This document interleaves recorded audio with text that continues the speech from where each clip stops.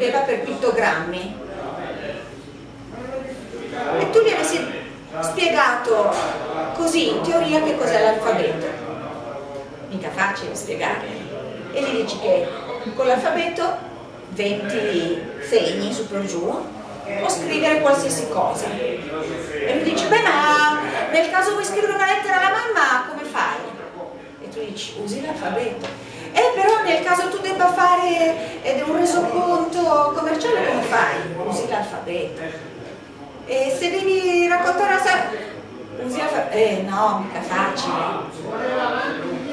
Quello che c'è nel sito è l'alfabeto dell'attenzione. Se uno impara ad utilizzarlo, come fa con l'attenzione quello che con le lettere fa per scrivere.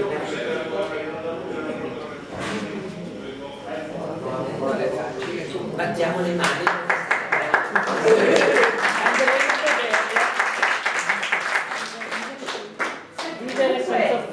E via